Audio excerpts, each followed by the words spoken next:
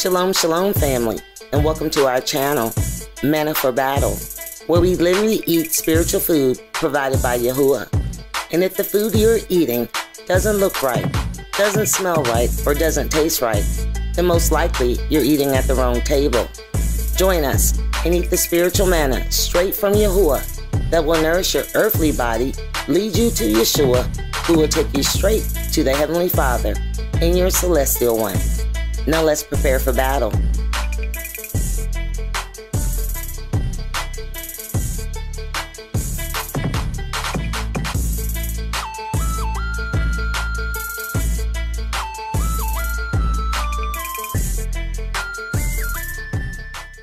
Shalom, family, and welcome to our channel. Hear the words of the Most High in Amos chapter 9, verse 7 in part. Are you not as the children of the Ethiopians unto me, O children of Israel, says the Most High?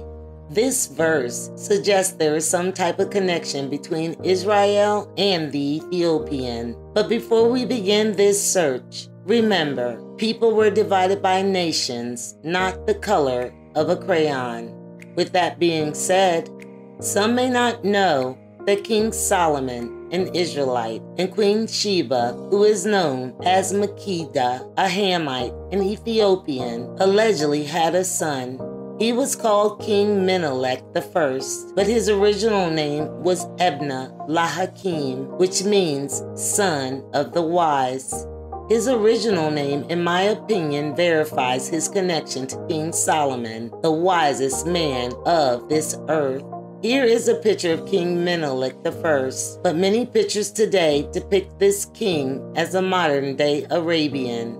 It never ceased to amaze me that many people can accept the Ethiopians or so called black people, but not the Israelites. Hmm. Consider this one can trace Emperor Haile Selassie's lineage all the way back to King Solomon, but never consider that his ancient ancestor was a so called black man, an Israelite. But wait, how can we know this for sure about King Solomon? Because King Solomon was from the house of Jacob, and Jacob's face would never wax pale, though we all are a speckled bird. Hear the words of the Most High in Isaiah chapter 29, verse 22. Therefore, thus saith the Most High, who redeemed Abraham concerning the house of Jacob Jacob shall not now be ashamed, neither shall his face now wax pale. Note, it states his face. But let's search deeper with a closer look at the biblical use for the word pale to be white grow white, grow pale. You see that? Let's search a little deeper in the Hebrew Chaldee lexicon about this verse to be white, to become pale, or to be bleached. This is extremely important when identifying Israel because the whole house of Jacob, the entire nation, would never be all pale faces. You see that?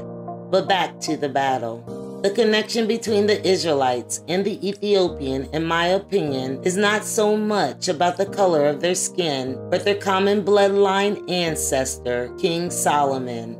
And for the ones that are aware of this, yet fail to help or support their brethren, their kin, repent, because the Most High has prophesied destruction for Ethiopia.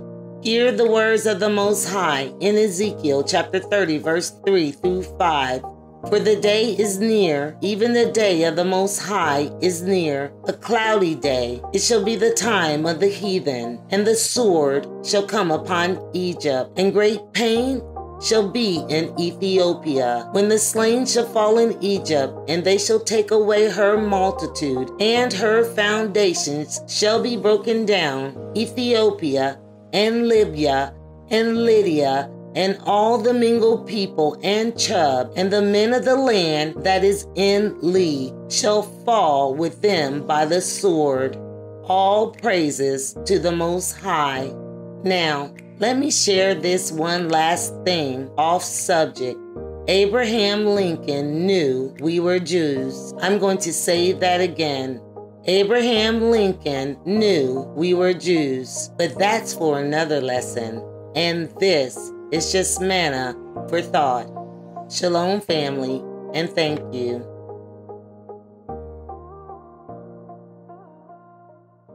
Family, I pray this lesson has edified your soul and spirit and brings you peace.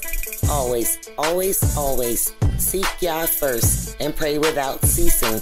Remember, John chapter 4, verse 23 and 24. But the hour cometh, and now is, when the true worshippers shall worship the Father in spirit and in truth. For the Father seeketh such to worship him. And be sure to subscribe and click the bell to be notified of my next video. Thank you.